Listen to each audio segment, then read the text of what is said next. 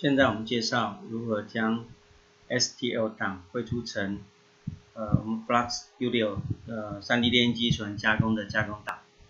首先我们打开 Flux Studio 啊，这个软体你可以从它官网去下载，安装在 Windows 系统或者是 Mac 的系统。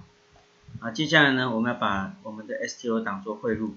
我们点入汇入之后呢，你可以选择刚刚的那个 STL 档。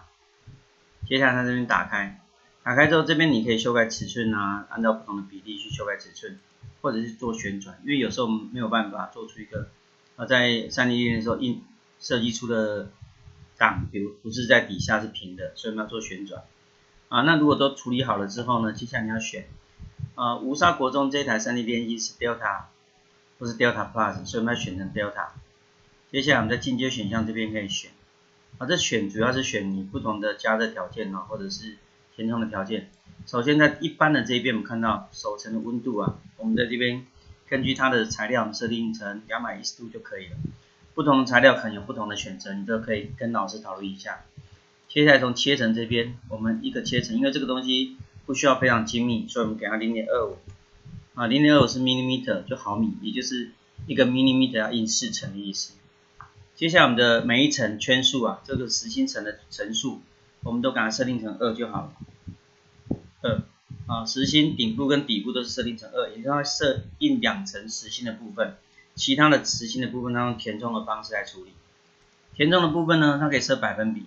一般来讲，如果你强度要很够的话呢，最高可以设到，当然设到百分之百就是全部实心的，但是我们不需要这么做啊。大部分呃，像我这个强度要好一点的话，可可以设到百分之二十左右就可以了。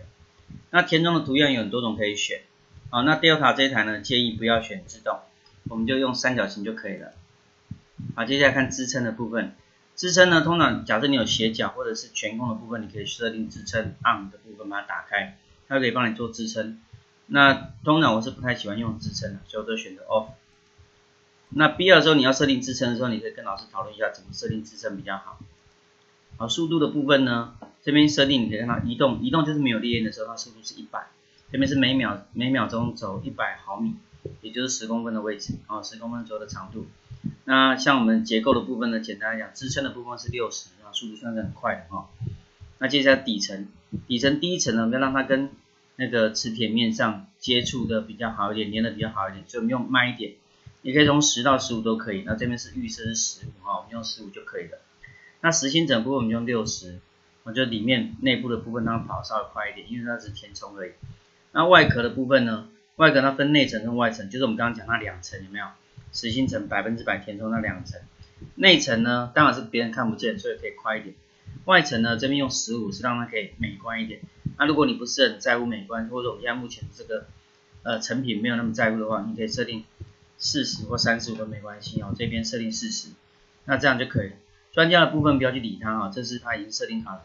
你除非已经非常专业的话，你可以去。做一些适当的一个参数条件，那你千万不要去动它。如果你不熟悉的话，啊，那我们套用之后就可以了。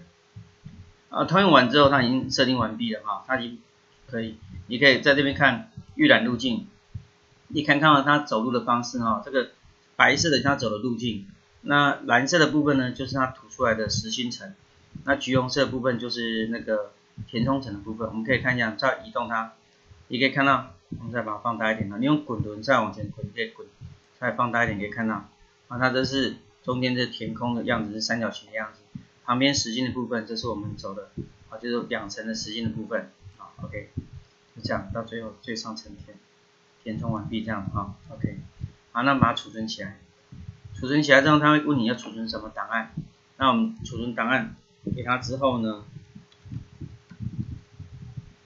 存档。存档呢？那接下来你可以做什么？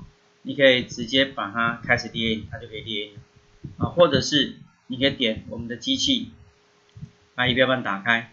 仪表板打开之后呢，你点这个资料夹。第一次点点两下之后呢，它进到一个 SD 的资料夹，再点两下，它进到 Recent 的资料夹，再点两下，通常会把资料上传到这边来。所以你可以点上传，把你刚刚所做的档案啊，用上传的方式。让它点开启，它就开始上传。可以看到百分比。上传完毕呢，你可以点选刚刚的档案，比如说我们刚刚那个档案叫做呃 wave wave hook 啊这个档案，点两下之后呢，它就可以跑出来，我们就可以开印，开始列印出去，啊就这样子。